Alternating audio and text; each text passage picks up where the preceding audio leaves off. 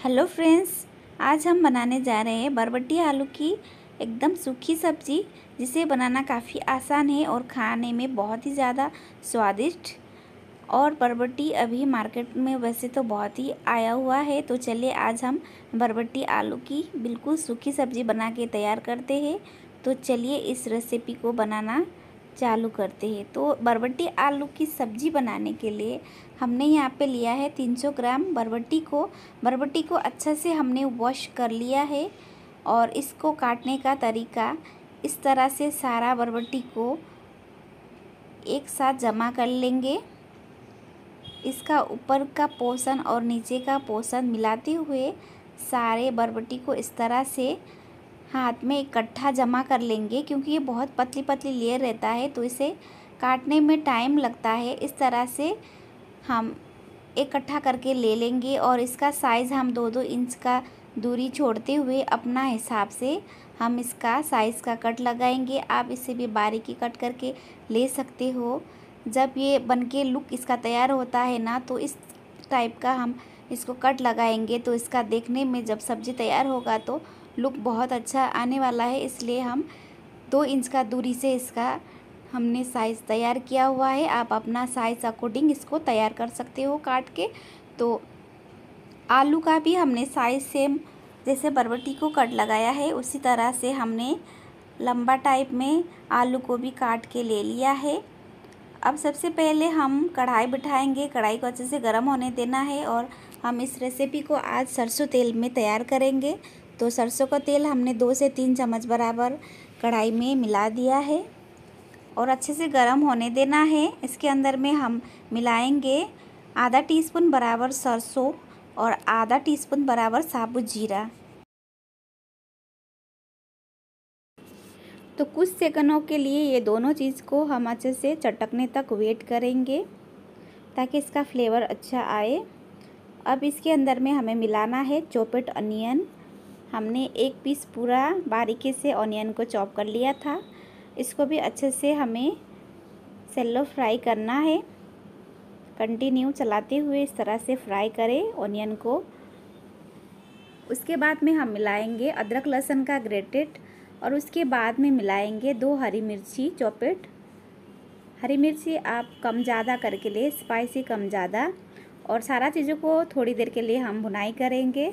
उसके बाद इसके अंदर में हम मिला देंगे आलू, जो हमने पीस करके रखा हुआ था। आलू को कुक होने के लिए टाइम लगता है, इसीलिए इसी ऑयल के साथ साथ और प्याज का साथ साथ में हमारा आलू भी सेल्लो फ्राई हो जाएगा। तो आलू को हमें इस तरह से पहले ही फ्राई कर लेना है इन्हीं मसालों के साथ में, ताकि मसाला भी हमारा जले ना और आलू भी हमारा सेलो फ्राई हो। साथ साथ ओनियन और आलू एक ही साथ सेलो फ्राई होना है और नमक भी इसी टाइम मिला देना है। नमक से आलू जल्दी सॉफ्ट हो जाता है, इसीलिए नमक को हम पहले ही मिला देंगे इस तरह से और अच्छे से थोड़ा देर फिर कुक करेंगे।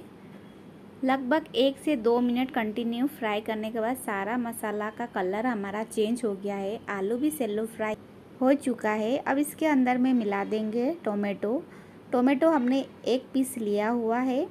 टोमेटो मिलाने के बाद भी थोड़ा देर भुनाई करेंगे ताकि टोमेटो भी इन्हीं सारा चीज़ों के साथ में सॉफ्ट हो।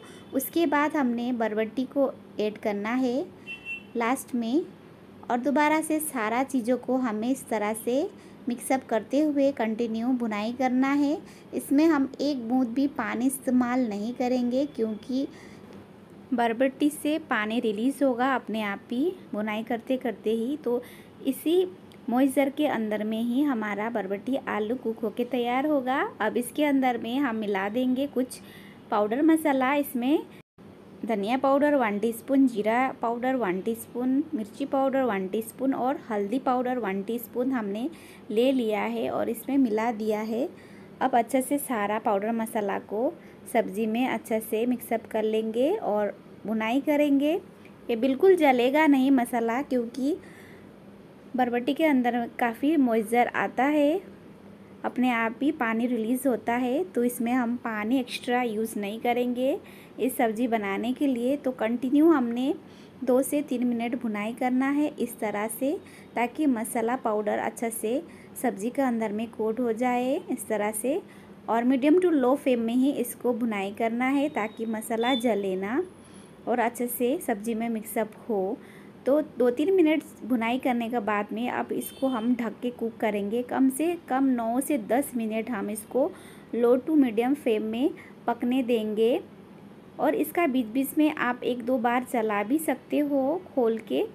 तो नौ दस मिनट बाद हमने ढक्कन को निकाल दिया है। और इसका बीच में हमने एक दो बार चला लिया था सब्ज़ी को। बीच बीच में आपको एक दो बार चेक करना है।